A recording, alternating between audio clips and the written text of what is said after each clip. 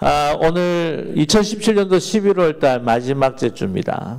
다음 주면은 12월 첫째 주가 되면서 대강절 첫째 주일이 됩니다. 아, 깜짝깜짝 놀랍니다. 아, 이렇게 세월이 빨리 지나갈 수 있을까? 정말 Happy New Year 한 엊그제 같은데 벌써 2017년이 지납니다. 그래서 연말 연시, 특별히 성탄이 다가오는 느낌을 이제 확연하게 느끼게 되는데요.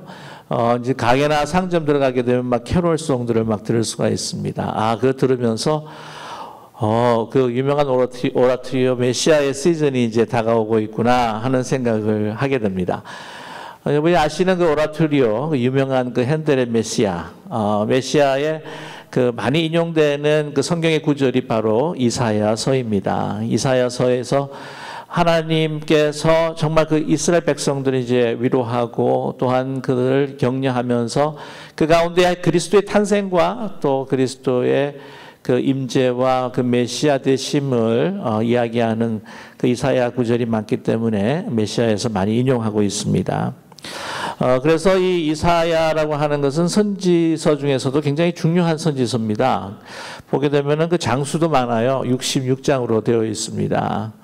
어, 이러한 귀중한 이 선지자 이사야를 통해서 아, 하나님께서 또 이스라엘 백성들에게 우리 선포하는 말씀을 오늘 함께 나누기를 원하는데요. 어, 이 선지자 이사야 같은 경우에는 어, 로얄 패밀리 중에 하나죠. 그래서 우시아 왕의 어, 사촌이기도 했습니다. 그래서 그 이사야 1장 1절 보게 되면은 어느 시대 때 이제 활약을 했는가 하는 것을 이제 쭉 어, 기록하고 있는데 유다 왕의 네 명의 유대 왕을 거쳐서 활동을 했습니다. 우시아, 요담, 아하스, 히스기야 아, 왕 그 시대를 어, 거쳐서 활동을 했죠. 근데 이제 이사야 1장을 시작하는데 그 오프닝을 보게 되면은요, 어, 하나님의 그 탄식 소리가 들리게 됩니다. 지난 주일은 우리 하박국 선지자의 그 탄원으로 시작하는 것을 우리 함께 나누었는데요. 어, 이 이사야서에서 그 1장에 딱이 시작이 바로 하나님께서 탄식하십니다. 어, 이 이스라엘 백성들을 향해서 유대 백성들을 향해서 이제 탄식을 하시는데 이사야 1장 2절과 4절의 말씀을 한번 잠깐 여러분께서 들어보시면 좋겠습니다. 하늘이여 들으라 땅이여 귀를 기울이라 여호와께서 말씀하시기를 내가 자식을 양육하였거늘 그들이 나를 거역하였도다. 소는 그 임자를 알고 나귀는 그 주인의 구유를 알건만은 이스라엘은 알지 못하고 나의 백성은 깨닫지 못하는도다 하셨도다. 슬프다 범죄한 나라여 허물진 백성이여 행악의 종자여 행위가 부패한 자식이로다. 그것이 여호와를 그들이 여호와를 버리며 이스라엘의 거룩하신 이름을 만홀히 여겨 멀리하고 물러갔도다라고 이렇게 어, 탄식하셨습니다. 이 말씀을 들으면서 하나님이 이스라엘 그 유대 백성들을 향한 그 탄식이 혹시 우리를 향한 탄식이 아닐까라고 생각이 될 때마다 너무나 두렵고 떨리는 가슴을 어, 이루 말할 수가 없습니다. 근데 왜 이렇게 이스라엘 향해서 하나님께서 탄식하신 것일까? 아시다시피 이스라엘 백성들이 하나님에 대해서 범죄하였습니다. 하나님은 그들을 정말 자식처럼 생각하며 아끼고 사랑했는데 그들은 횡포하고 강포를 부리고 또 약탈하고 가지고 있는 어, 하나님께 주어진 그 권세를 가지고 남용하였습니다. 선지자를 통해서 그들이 돌아올 것을 그렇게 소망하면서 회개하라고 여쳤지만 그들은 말을 듣지 않습니다. 그들은 우상숭배합니다. 또 타락합니다. 어, 이 많은 수많은 죄악들로 인하여서 하나님께서 탄식하고 계십니다. 하나님께 돌아오라. 그렇게 간절히 원했지만 그들은 돌아가지 않습니다. 그래서 나중에 하나님 말씀대로 이제 바벨론이 이제 에게 침략을 받아서 이스라엘이 완전히 망하게 되지요. 오늘 이 말씀 이스라엘을 향한 하나님의 그 탄식이 나중에는 진노로 변하고 또한 심판으로 변하게 됩니다. 얼마나 그들이 참 하나님 앞에 많은 범죄를 하였기에 또 하나님께서 진노하였는가. 이 이사야서를 보게 되면은 1장에서부터 39장까지 계속해서 이스라엘 향한 그 죄악에 대해서 심판하시고자 하는 하나님의 진노를 나타내고 계시는데요. 야, 얼마나 하나님 앞에 범죄했고 하나님께서 그렇게 노하셨냐. 이 1장에서부터 39장까지 그 많은 장들에게 그렇게 선포하고 계시다고 하는 것을 볼 때 참 어느 정도일까 우리가 짐작을 할 수가 있습니다. 이 39장 까지 하나님께서 그들을 향해서 심판하시고 진노하실 때 물론 다른 민족과 열방을 향해서 하나님께서 진노하시고 심판하시겠다라고 그렇게 예언하시기도 하셨습니다. 그러나 그 1장과 39장을 보게 되면은 얼마나 하나님께서 이 이스라엘 백성들의 그 죄악에 대해서 정말 진노하시고 또한 심판하시고자 하는 뜻이 담겨 있는데요. 그 심판이 이제 그들의 현실로 이루어집니다. 바벨론이 침공을 하게 됐죠. 완전히 멸망을 하게 버리게 되는데 그 성전이 무너져 버립니다. 그 백성들은 피폐해져 갑니다. 뿐만 아니라 지도층에 있었던 사람들은 다 포로로 잡혀가 버리고 맙니다. 이스라엘이 유대 땅이 그냥 망하고 만 것이었죠. 그러니까 그것으로 인하여서 그들은 막 실망하고 이제는 소망이 없어서 절망하는 가운데 있는데 여러분 그 이사야 보시게 되면은 갑자기 이 분위기가 하나님의 심판과 진노의 분위기가 바뀌는 것이 바로 이사야 40장입니다. 이사야 40장에서부터 하나님께서 그 유대를 사람들을 회복하고 치유하고 돌아오게 하리라고 하는 그 희망의 메시지가 시작이 되는 거죠. 어, 그래서 이제 어, 어떤 성경학자들은 이사야서가 이 우리가 가지고 있는 성경 전체와 굉장히 유사하다. 그것을 말하는 대표적인 중요한 성경이라고 이렇게 이야기를 합니다. 왜냐하면 이제 구약은 1권에서 39권까지 있지 않습니까? 그리고 신약은 27권까지 있습니다. 다 합해서 66권이 되겠죠. 이사야가 66장입니다. 그래서 1장에서부터 39장까지 하나님의 심판과 진노, 40장에서부터 하나님의 회복과 치유, 구원의 역사가 선포가 됩니다. 그래서 너무 비슷한 거예요. 그러니까 학자들은 어, 이사야서라고 하는 것이 바로 이 성경 전체를 대표할 만한 그러한 선지서이다. 그렇게 이야기합니다. 오늘 어, 함께 나눌 그 말씀을 보게 되면 43장에 나타나 있는데 1절과 7절의 이 말씀은 40장에서부터 66장까지 시작하는 어, 끝나는 하나님의 그 희망의 메시지의 가장 중요한 핵심 구절이라고 말씀드릴 수가 있습니다. 그들이 39장에까지 그 심판의 메시지를 듣고 난 다음에 이제 40장에 이제는 우리는 하나님께서 버림받은 백성이요 우리에게 희망이 없을까? 그런 상황 속에서 40장에서부터 희망의 메시지를 들으면서 이제 정신을 차리면서 이 탕자가 아버지의 그 풍성한 그 곳과 그 은혜의 장소를 기억했듯이 이스라엘 백성들이 그 바벨론 포로에서 이제 다시 희망을 가지고 주님을 바라보게 된다는 것이죠. 하나님께서 그들을 돌아오게 하실 것이다. 회복하게 하실 것이다. 그 이유의 가장 중요한 이유가 43장 1절에 나타나 있습니다. 그것이 무엇입니까? 본문 1절의 말씀 야곱아 너를 창조하신 여호와께서 너를 지금 말씀하시느니라 이스라엘아 너를 지으신 이가 말씀하시느니라 너를 두려 너는 두려워하지 말라 내가 너를 구속하였고 내가 너를 지명하여 불렀나니 너는 내 것이라 라고 이렇게 말씀합니다. 그러기에 너희들을 구원하고 회복시키고 돌아오게 하실 것이다 하는 것입니다. 이스라엘 백성들이 뭐 잘한 게 없습니다. 유대 백성들이 잘한 것이 없어요. 그럼에도 불구하고 하나님께서 그를 회복하시고 구원하시겠다고 하는 이유는 바로 너희들을 창조하였고 구원하였고 너를 지명하여 불렀고 내 것으로 삼았기 때문에 무조건적으로 그들을 회복시키고 구원하시겠다고 하나님의 약속이십니다. 이것이 바로 이스라엘 이 유대 백성들의 정체성이죠. 이걸 잊지 말아라가 하는 것입니다. 이 정체성 현실은 바벨론 포로입니다. 바벨론의 노예가 되어 있는 상황입니다. 완전히 희망이 이제는 끊어졌습니다. 앞이 보이지 않습니다. 절망 가운데 있습니다. 그러나 그것이 너의 현실로 보이겠지만 너희들의 정체성은 바로 내 것이라. 내가 너를 지었고 너를 구원하였고 지병하여 내가 불렀노라. 그것이 참된 너의 모습이다. 너의 모습은 노예가 아니다. 너의 모습은 종대 모습이 아니다. 너는 포로가 아니다. 너는 하나님의 것이다. 내 것이다. 여러분 정체성이 얼마나 중요한지 모릅니다. 뭐 정체성이 누가 밥 먹여주나 뭐 그렇게 이야기하시는 분도 있겠지만은요. 요즘에 인문과학을 굉장히 관심을 가지고 현대인들이 그렇게 찾고자 하는 것은 이 문명이 발달하면서 허해진 거예요. 내가 누구인지를 정말 자기 자신이 누구인지를 찾고 싶어 하기 위해 그 인문학이 그렇게 지금 유행하고 있는 겁니다. 인문학의 가장 중요한 이슈가 뭔지 아시죠? 내가 누구인가 하는 거예요. 그럼 내가 누구인가 하는 것을 분명히 할 때 어떤 상황 속에 있다고 할지라도 잘 흔들리지를 않아요.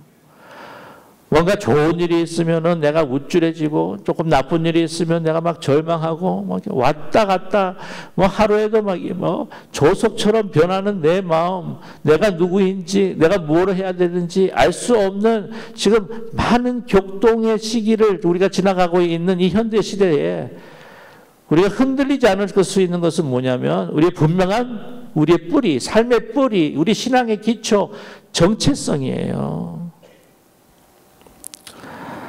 정체성은 바로 하나님의 것이다. 너는 결코 종과 노예가 아니라 포로가 아니다. 저 여러분, 이 유대 백성들에게 하신 이 하나님의 그 말씀이 바로 이 시간 저와 여러분에게 주시는 말씀인 줄로 믿습니다. 정체성 확실하지 않기 때문에요. 우리는 그렇게 그냥 우리 자신이 변하고 흔들릴 때가 너무나 많습니다.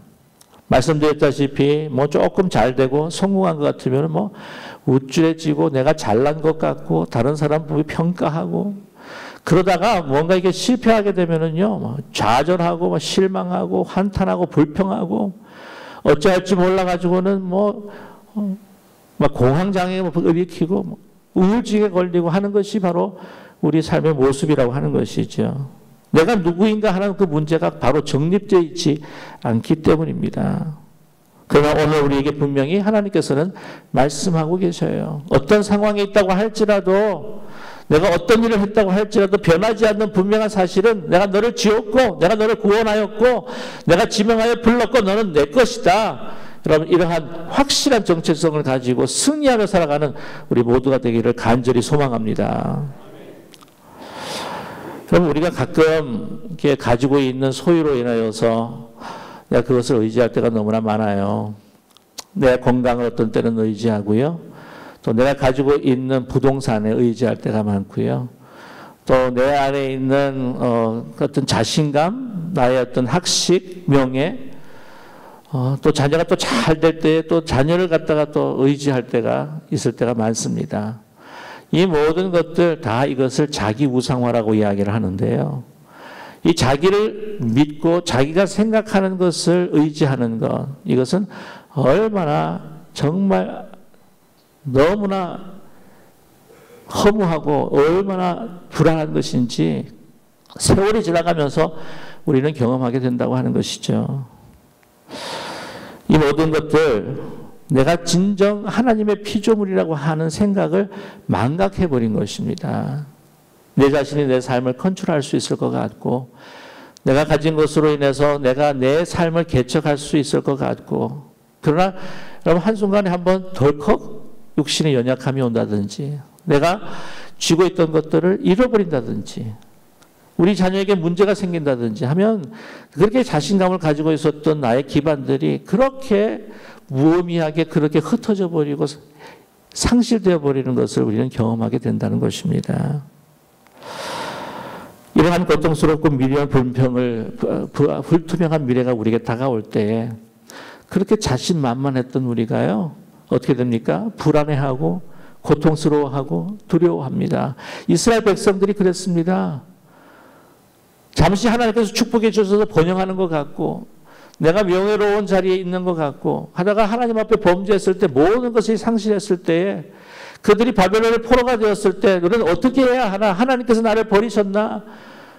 나는 이제 어떻게 살아가야 하나? 이제는 다시 고국에 돌아가지 못하고 이 땅에서 종의 모습을 너에서 이제 죽을 수밖에 없구나. 라고 깊은 절망과 실험과 두려움 가운데 있을 때에 하나님께서 이사야 이 선지자를 통해서 뭐라고 선포하십니까? 두 번씩이나 1절에 5절에 너희는 두려워하지 말라.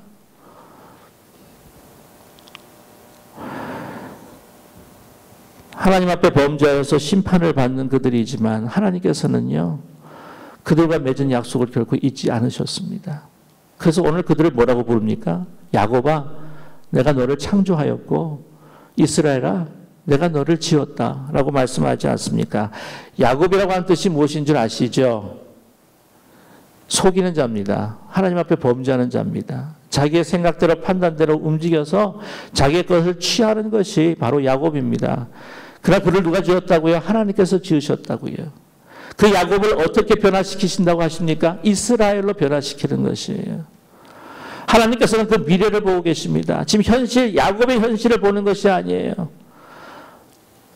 이스라엘 하나님의 백성, 진정한 하나님의 나라로 만드시는 그 미래를 보시면서 그 약속을 지키시며 열심을 다해 그들을 인도하시고 구원하시고 그들을 지명하여 불러서 너는 내 것이라 확신케 하시고 그런 하나님의 백성으로 세우시겠다고 하나님은 선포하고 계십니다.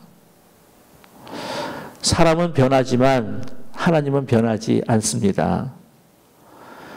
우리 인간은 약속을 지키지 못하지만 하나님께서는 약속을 지키시는 분이십니다. 우리가 약속을 지키고 싶어도 지키지 못할 상황이 우리에게 다가올 때가 있어요. 우리는 꼭 지키고 싶은데 한계를 느껴서 지키지 못할 때가 있습니다. 그러나 하나님은 영원하신 하나님이시요. 무소부지하신 하나님이시요. Almighty God. 모든 일을 이루시는 하나님께서 하나님께서 우리에게 주시는 약속, 선택하신 약속을 지키시는 하나님께서 그 약속을 우리의 삶에 이루어 주실 줄로 분명히 믿습니다. 그래서 본질적으로 여러분, 저와 여러분, 우리의 삶은 우리의 것이 결코 아닙니다. 우리는 하나님께 속해 있습니다. 우리의 모든 소유와 우리의 생명, 우리의 건강도요, 우리의 것이 아닙니다. 우리의 자녀도 우리의 것이 아닙니다. 모두 하나님께 속해 있는 것입니다. 하나님께서 우리를 창조하신 창조주시기 때문에 우리가 죽을 수밖에 없는 우리를 생명을 살리신 구원자이시기 때문에 우리는 우리의 것이 아니라 바로 하나님의 것임을 믿는 우리 모두가 되기를 간절히 원합니다. 저와 여러분, 우리의 삶을 우리가 개척할 수 있다고 한다면 아마 우리가 어느 부모 밑에 태어날 것인가 결정했을지도 몰라요. 나는 이 부모님에 태어날래 하고 태어나신 분 혹시 있으십니까? 자녀들 뿐만이 아니라 우리 부모도 나는 이런 이런 자녀 내가 낳을래 해서 이렇게 낳으신 분 있으십니까? 다 주어진 것이 아닙니까? 선택 없이 다 받은 것이 아닙니까? 왜? 하나님께서 우리의 생명을 창조하시는 분이시기 때문에 우리 구원도 우리가 이룬 것이 결코 아닙니다. 오늘 말씀을 보십시오. 우리가 얼마나 보배롭고 존귀한 자임을 그래서 이 구스와 야구, 애굽과 스바를 다 너를 위해서 너에게 주었노라. 너를 살리기 위해, 너를 구원하기 위해 그들을 심판하였고 그들을 쳤고 그들의 생명을 너에게 주었노라. 이스라엘 역사 가운데 하나님께서는 분명히 구체적으로 그렇게 그 일을 행하셨습니다. 뿐만이 아닙니다. 우리에게 우리를 구원하시기 위해서 누구를 주셨습니까?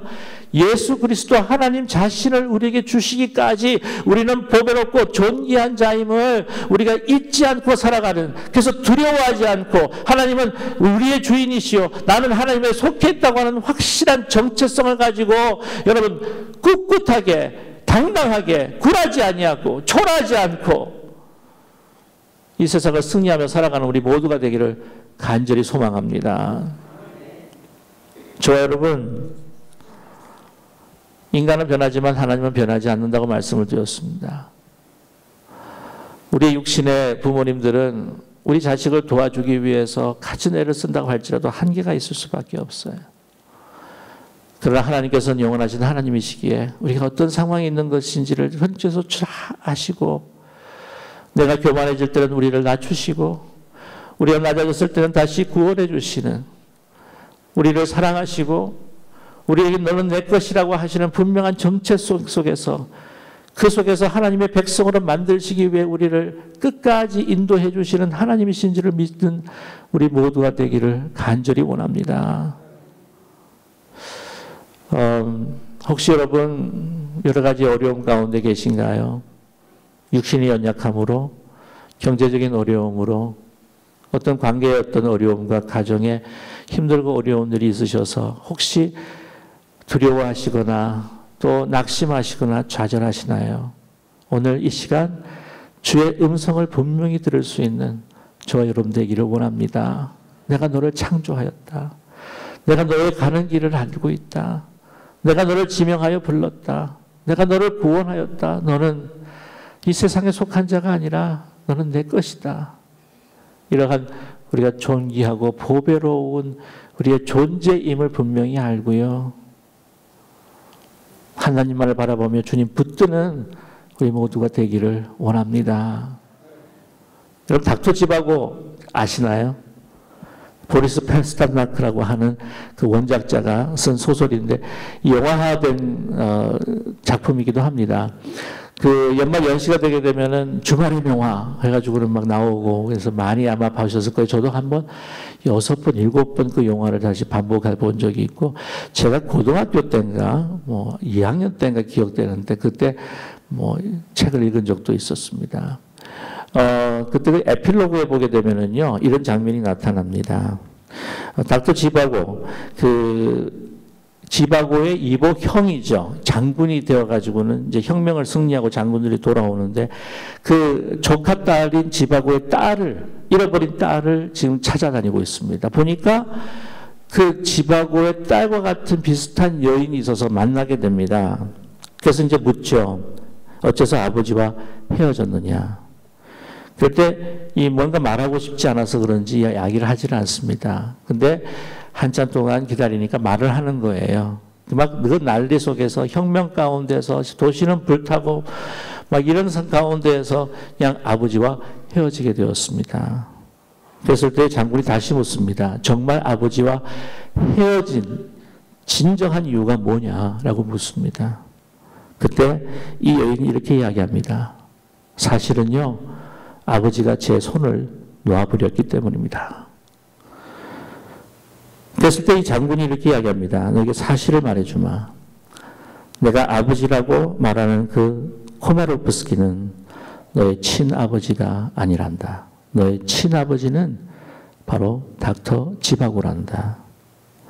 만약 코마로프스키가 너의 친아버지가 친아버지였다면 절대 어떤 상황 속에서도 너의 손을 놓지 않았을 것이다. 우리 육신의 아버지, 육신의 어머니, 우리 육신의 자녀들, 우리가 인간이기에 우리가 손을 놓을 수밖에 없는 상황들이 옵니다. 왜? 인간이기 때문에. 그러나 진정한 영원하신 우리 아버지가 되시고 창조주가 되시고 구원주가 되시고 우리를 지명하여 불러서 그 약속을 지키시는 아버지께서 저와 여러분의 손을 결코 놓지 않으실 것입니다. 우리가 손을, 아버지의 손을 놓는다 할지라도 아버지께서는 우리의 손목을 붙들고 우리를 결코 놓치지 아니하실 것입니다. 여러분, 이 소망과 희망 가운데 그래 나는 하나님의 것이다. 하나님이 나를 어떤 상황 속에서도 죽음의 순간 속에서도 내 손을 놓지 않으실 것이다. 믿음으로 승리하는 우리 모두가 되시기를 주님의 이름으로 간절히 축원합니다. 기도하겠습니다. 사랑의 하나님 아버지, 우리가 죄인 되었을 때, 아버지와 원수 되었을 때, 아버지께서 자신을 주시고 우리를 구원하여 주셨음을 감사합니다. 우리를 창조해 주시고 사랑으로 만드셨건만 우리는 우리의 고집과 아집으로 주님 앞에 반역하고 거부했었던 우리들이었지만 우리를 구원하여 주셨음을 감사드립니다. 탕자를 기다리는 아버지의 마음처럼 우리를 향해서 기다리시고 우리를 부르시고 우리를 지명하여 너는 내 것이라고 우리에게 외치시는 주님의 음성을 듣게 하여 주시옵소서.